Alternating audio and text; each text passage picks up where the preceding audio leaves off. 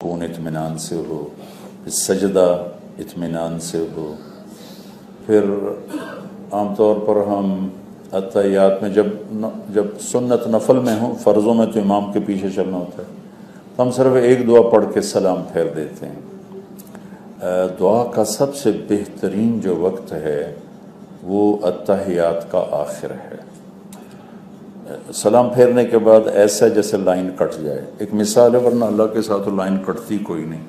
لیکن نماز کے اندر بندہ اور رب بالکل ہم کلام ہو رہے تھے۔ حمدنی عبدی، اثنا علیہ عبدنی، بجدنی عبدی۔ اللہ اور بندے کی آپس میں بات ہو رہی ہوتی۔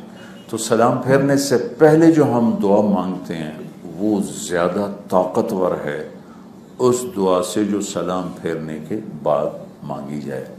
تو جتنی دعائیں آپ کو یاد ہیں، ان کو آپ سلام پھیرنے سے پہلے مانگنے کی عادت بنائیں۔ ایک ہو، دو ہو، تین ہو۔ باقی چونکہ دعا کیفیت کا نام ہے، نہ کہ الفاظ کا، تو جب کیفیت بن جاتی ہے، پھر اردو، پشتو، عربی سب برابر رہتا ہے۔ اور کیفیت میں بولنا بھی ضروری نہیں، چونکہ دعا ایک فریاد ہے اور فریاد کے لیے الفاظ نہیں ہوتے۔ ایک درد بھری آواز ہوتی ہے۔ جو وہ اللہ کے عرش کو جاتی ہے تو ہلا دیتی۔ ورنہ گونگے تو مانگ ہی نہ سکیں۔ ہوں گے تو مانگ ہی نہ سکیں۔ دعا ایک کیفیت کا نام۔ جس مرد عورت پہ آ جائے، جہاں آ جائے، عرفات میں آ جائے، مینا میں آ جائے، مزدلفہ میں آ جائے، یہاں آ جائے، بلڈنگ میں آ جائے، بیت اللہ میں آ جائے۔ وہ وقت دعا کی قبولیت کہہ کے عرش کے دروازے اب کھل چکے۔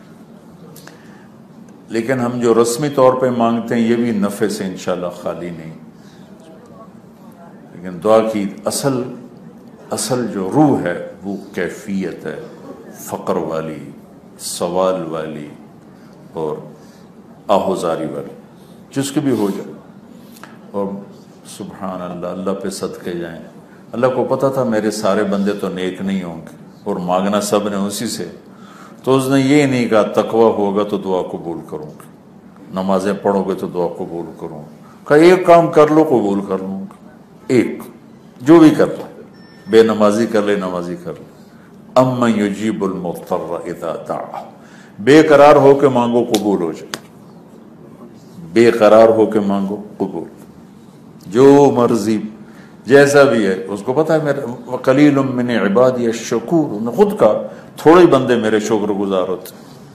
لیکن دعا کی قبولیت کے کبھی تم تھوڑا سا رو کے دکھا دو، بس کام ہو جائے گا تم۔ کام بن جائے گا تم۔ تو نماز کو اطمینان سے پڑھا جائے۔ تلاوت کے لیے وقت نکالا جائے۔ اب ہم ایک معاشرہ، ایک ماحول اور ایک خاندان بن چکے ہیں۔ تو کوئی اونچ نیچ ہو تو برداشت کیا جائے۔ کوئی کمی بیشی ہو، چپ کر جائیں، سہ جائیں، پی جائیں۔ اس کو مینا میں بڑے غصے ہو رہے ہوتے ہیں، میرا بستر ٹھیک نہیں، میری جگہ ٹھیک نہیں، تو یہ چیزیں پیش آنے والی ہوتی ہیں۔ جب ہوٹل جاتے ہیں، میرا کمرہ ٹھیک نہیں، مجھے ادھر دے دیا، اس کو ادھر دے دیا۔ تو اگر ان سب چیزوں کو ہم برداشت کر کے گزر جائیں گے، انشاءاللہ میں بہت فائدہ ہوگا۔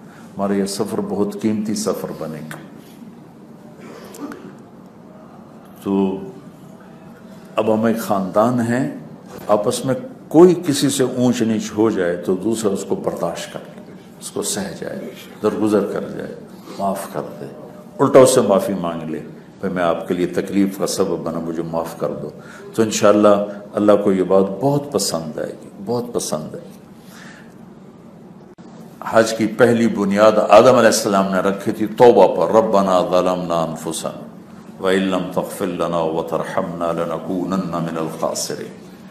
یہاں سارے گناہوں سے توبہ کر کے جاؤ۔ اور میرے اللہ بھی کہتا ہے، اتنے لے کر آؤ جتنے بارش کے قطرے، جتنے ریت کے ذرے، جتنے درختوں کے پتے۔ اتنے لے کر آؤ، ساری معاف کر دوں توبہ کرو، ساری معاف کر دوں شیطان سب سے زیادہ حقیر ہوتا ہے عرفات کے دن۔ اس سے زیادہ حقیر اور کہیں نہیں ہوتا۔ اور اگر ہو جائے تو پھر توبہ کر لو۔ جب ہو توبہ کرو، جب ہو توبہ کرو، اللہ معاف کرنے والا گناہ پہ باقی رہنا ہلاکت ہے۔ گناہ ہو جانا کوئی بڑی بات نہیں، گناہ پہ باقی رہنا ہلاکت۔ اور گناہ ہو جانے پر توبہ کریں گے تو اللہ سب معاف سب معاف فرمائے گا۔ تو دوسرا ہم سے کہتے ہیں کبیرہ گناہوں سے بچ۔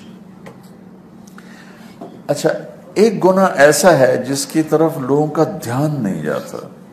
لیکن وہ بھی اللہ کی نظروں سے آدمی کو اتنا ہی گراتا ہے جتنا زنا، شراب، جوا گراتا وہ ہے کسی کو حقیر جاننا کسی کو حقیر جاننا کسی کو حقارت کی نظر سے دیکھنا اس کی کسی برائی کی وجہ سے یا اس کسی بھی وجہ سے کسی کو حقیر جاننا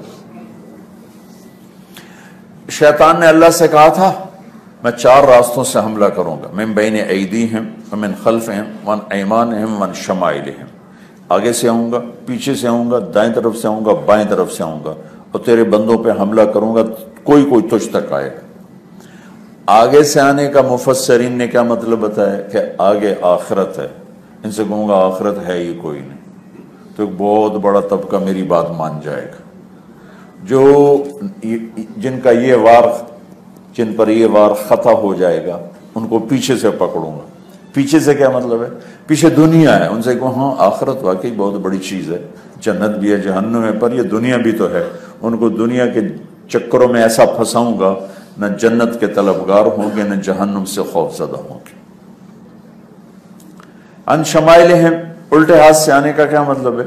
کہ ادھر سارے گناہوں کا رجسٹر ہے۔ تو شراب میں، زنا میں، جوئے میں، چوری میں، ڈاکے میں، جھوٹ میں، سود میں، ہیرا پھیری میں، ان چیزوں میں پھنساؤں گا۔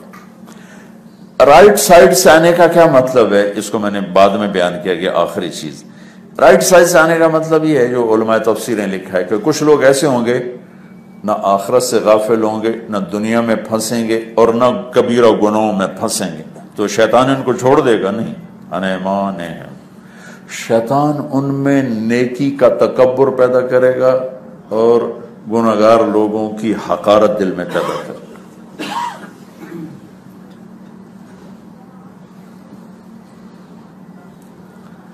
نائنٹی سکس میں ہم نے نا فلمی اداکار اداکارہ ان میں ہماری جماعت کو حکم ملا ہم نے ان میں کام شروع کیا۔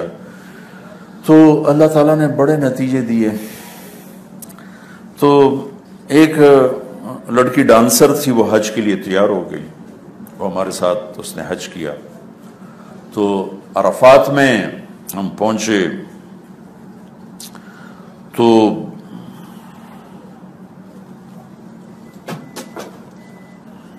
وہاں وہ وہ میٹرس چھوٹے چھوٹے وہ بچھے ہوتے ہیں۔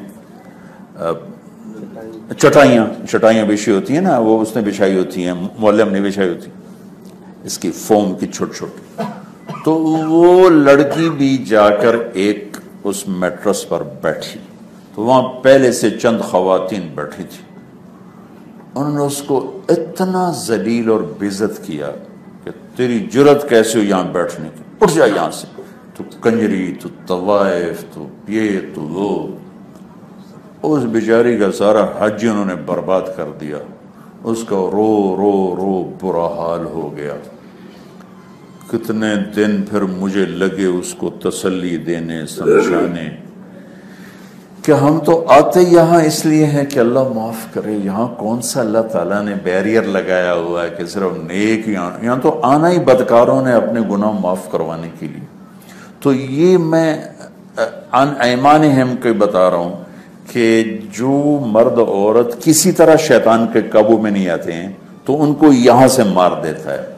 اوروں کی حقارت، اوروں کی کمی، اور ان سے نفرت، یہ آدمی کو اللہ کی نظروں سے گرا دیتی۔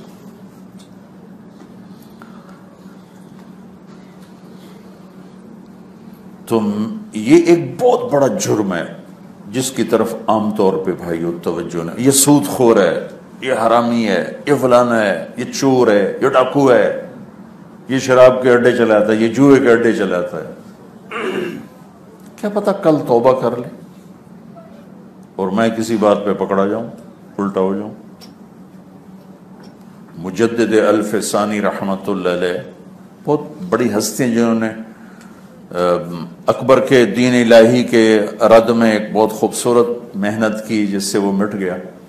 تو ان کے خطوط ہمارے استاد پڑھ رہے تھے فارسی میں، تو اس میں تو اپنے آپ کو فرنگی کافر سے بھی برا سمجھو۔ تو میں نے استاد جی سے پوچھا، اس کا کیا مطلب؟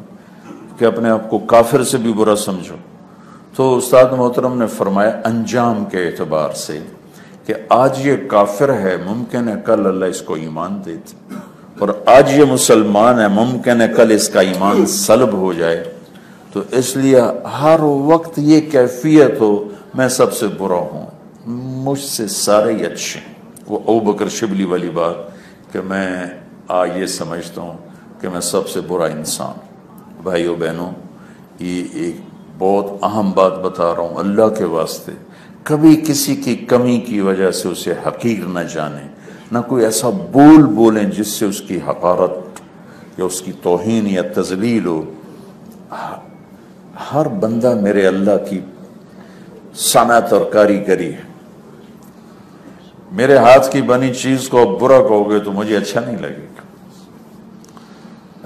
یونس علیہ السلام جلدی چلے گئے نا عذاب آ رہا اور چلے گئے۔ وہ تو انہوں نے توبہ کر لی۔ جب اللہ نے مچھلی سے نکالا اور تھوڑا کر کرا کے بھیجا، تو راستے میں کمار گھڑے بنا رہا تھا، گھڑے۔